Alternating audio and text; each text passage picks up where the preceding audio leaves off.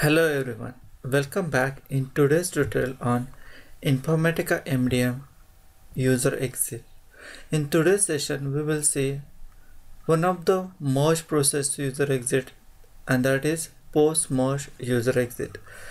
During the merge process we have only one user exit available and that is post merge user exit. So let's see what is the merge process and where the post merge user exit get executed. So this is the diagram which shows the merge process actually runs in a block. So we can see this is the block of code. So first the merge job get registered. Once we execute the merge job, the first block of the merge process will be get executed. Once it is successfully execution is complete, the post merge user exit uh, executed and then commit will happen. Similarly then it will check if there is any other block available. If it is block available then it will execute the the merge job for the next set of the match record in the block and then again it executed the post merge user exit commit the records and it will continue for the for the next records in that block Similarly, the last set of the records will be processed from the block and once it is successful, the post merge user exit again get executed. The commit will happen and again it will check whether any other block available for the merge and the process continues till the all the blocks process. After all successful process, the merge job will end. So the so same sequence is mentioned in this uh, screen the user exits run within the merge process in the following sequence. First, Informatica MDM Hub register the merge job. So, so whenever you start a merge job, it actually registers the merge job. Then uh, the Informatica MDM Hub merges the first set of matched records in the first block. So we know that the merge process runs in a block so it will re first record will be merged from that first block. Then the post merge user exit will run. And then final uh, then the commit will happen. The same the step like 2 and 4 that is 2 to 4 that is uh, merging of the rec uh, merging of the record from the given set in the given block.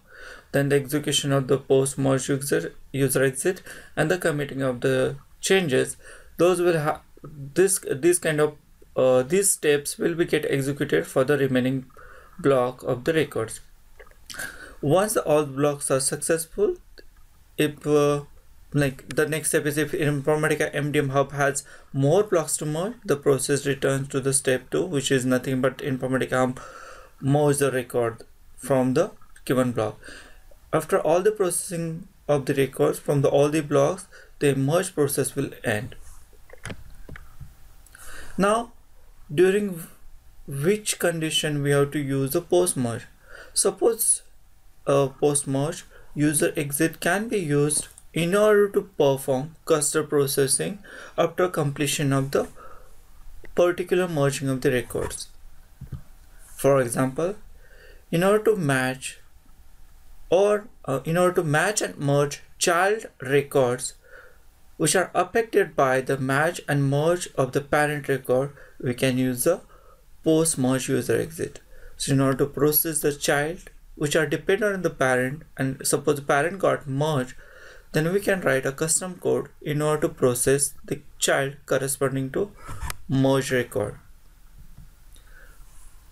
The name of interface for the post merge is com.informatica.mdm.userexit merge user exit. The method on which we need to override is it has ha it has a return type as void. The name of method is process user exit. The same process is available in all user exit. However the signature is little bit different. That is the parameters are little bit different. The first parameter is very common that is user exit context and the second second parameter it is list of the base object row IDs. So, so what is this base object row IDs? It is a list of the base object row IDs which are involved for the merge process. So there must be a set of row IDs by those are involved into the merge process and which get finally converted into one of the final record. The first entry in this uh, in this uh, list is nothing but the target base object row id so which is the final row id will be the winner that will be mentioned as a first entry in this list. The remaining entries in this list are source base object which are get merged during this merge process. So let's have a demo on this uh, post merge user exit. Let's have a look on the what is the uh, what is the schema we are going to use? In our demo we are going to use customer and the address tables. So customer have the first name last name cust id full name. However the address table has address line 1 city country address id and the cust id it is very simple model we are going to use for our today's demo. Next thing we are going to write our java code for the post merge user exit we know that we have to implement the post merge user exit for our um, for writing our custom post merge post merge user exit. The name of our custom class is merge post post merge user exit UE so how to create class? Right click on the package new and the class. So you can provide here the name of class which is I already created. The name of class is po MDM post merge UE UE and implements post merge user exit. Then create the logger object. We can create the logger object like this. Log uh, public static logger log equal to logger dot get logger provide the name of class one which you are going to use. Dot class dot get name. So this will return one uh, class name. Then we have to override the process user exit um, process user exit method which will have the user exit context and the map of first is a key uh, where the actually the record got uh, means winner or the final record and the list of strings which will be get merged into that winner record. So then we are just uh, mentioning the logger with the post merge user exit started then the table name we are returning table name from the user exit context. Then the base object already is one which you we got here. We are printing to see all of them. Then we are checking if the this row id object is not null. And if it is not null then we are getting the uh, the key set. So means we will get all the keys all the winner records. Then we are retrieving the key set or we are iterating the key set or uh, or this all these keys and we will get the winner row id uh, the winner row id uh, based on that we will get the corresponding all the row id uh, base uh, base object row ids so which will be get merged into this winner row id Th that will be the list of the records and we are going to print those lists so the list will be printed uh, if you see the iterated 2 is there to get the, all the match record. So we got the matched uh, record ma uh, final match record and the the record which is get merged. So the final record will be record winner row id equal to all the match records. We are going to get this record. Finally what we are doing if this record whatever we just populated we are going to print in a one of the file. The name of the file is merge so this is what we are doing. We are just in this logic we actually getting the all the records which are get merged so that uh, we'll have the archive kind of thing. So whenever we want a row id object to be sent to the business people we can uh, have this logic to get the, all the merge record row id object and send those to the business. So business will see if they want to have any issues. So this is the way we have got the we are right uh, we have the file writer and the buffer writer which are from the io package of the java. So if you know the core java so you will immediately come to know this is from the io package. So this is the code. Now once we're done with the codings we have to right click and export this as a jar. So jar is available inside the java project. Jar select jar click on the next uh, no need to select class path and project. Uh, then give the project name as where and the location where you want to save the project file. Click on the next and finish.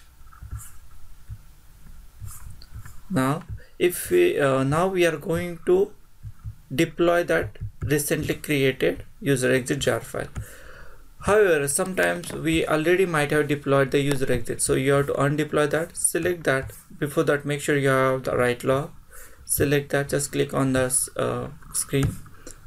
Uh, this is minus sign to remove all this user exit which is already. If it is not already present just click on this user exit. The plus sign will be get enabled. Click on that. Now provide the one which uh, the jar file one which you just created. And here give the your any name description for the user exit. If it is successfully you have if you don't have any errors in your jar file or if you have successfully created the post merge user exit then this will be we will able to see the post merge user exit here. Mdm post merge user exit the second last. Now let's go and run our processes.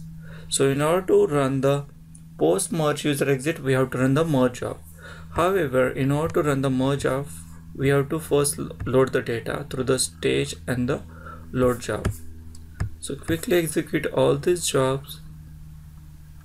So we are just running the job. Uh, we got some error. Let me check that error. So I got the issue so when I when I check the logs I come to know that database listeners was not up. So this is what I can notice. The TNS listener could not find available handler for the matching protocol stack. So this is what error I noticed so sometimes you might notice such kind of error. I I could notice this error inside the hub server logs so if you see either this kind of error in the hub server log or the cleanse server log what you have to do you have to go to the services and check whether your oracle services are up or not so I manually restarted this uh, TNS listener service and Oracle service ORCL. So after restarting that, I ran the job and now I can see there are two records got successfully processed. So, so sometimes we get such errors because of the some system issue or any other issue. So make sure uh, your services are up. So so it is always good idea to check your cleanse server and the hub server logs if whenever you get any error so something like we checked across so i found that error and uh, i thought i should share with all of you so now i'm running the load job which is actually pushing the records from the staging table into the base object tables. Then i will run the tokenization job for the customer. It should be uh, I think it should populate at least two tokens. Let's see. Yeah it is populated two records for two tokens for the two records. Now I'm running the match. Oh, we have the already match uh, configure so this is not important for us. That's why I'm quickly covering up. The now the one record in the match queue. That means we got the match. So we will run the merge process. So whenever you run the merge process the post merge user exit will be get executed. So how to run the merge merge? So we have the auto merge but the record is in the manual queue. That means we have to go to manual and manually run the job. If you run the auto merge job so what are the records in the auto merge queue that will be get pushed uh, or that will get merged and then the post merge user exit will be executed. The post merge user exit will get executed for the both auto merge as well as for the manual merge. So let's go for the manual merging because our record in the manual merge queue i'm selecting the base object as a customer. Let's get a count. How many records? There is one record for the uh, ready to get merged. We'll go to the select the package. We already created one put package for the customer. And let's start begin. So now i can see there are two records. And out of two the winner record I can see the highlighted will be the winning record. And uh, the merging record the record will be get uh, merged is uh, with this uh, row id 1 so let's merge. So in order to merge at the right side of this uh, cell data screen you have the option to merge the unmerged record. So if you click this so now at the top screen we can see the two records. After merging there will be only one record. So one pop-up came when I click on this merge button and if the pop-up is saying are you sure want to perform this merge? I'll say yes but before doing that I would like to show something. So if you see this location at this location this merge.txt file should get generated. So let's have a look and see whether there is already present or not. So now there is no merge.txt file present. So what this will do what this means so when i run the post merge user exit this code should get executed and it should write uh, the winning record as well as the match record in that merge.txt file and that txt file should get generated at this given location. So now uh, what I'll do I'll just click this S so that will the merge process will execute it. Let me see what are the details? There is no single transaction and okay. Let me see I think there is one more issue. Let me quickly fix that issue I think that was like temporary issue. I didn't did anything for to fix this issue. But I when I click the next time and I uh, when I next time click the merge button I, I click the yes on top of that and now I can see the screen. The merge was successful. And I click OK now I can see only one record. So now we can see the whether the um, the file is generated or not. Yes now I can see the file is generated and I can see the winning record row ID object that is 2 and the record got merged is 1 so this is the process by which you can implement the post-merge user exit. Also we saw the couple of issues in this tutorial and how to fix those issues. I hope this tutorial will helpful for, helpful for you. If you have any questions about the Informatica MDM, user exit or the IDD, you can mention in the video below. You can subscribe my channel for more interesting update about the Informatica MDM. Thank you for watching the video.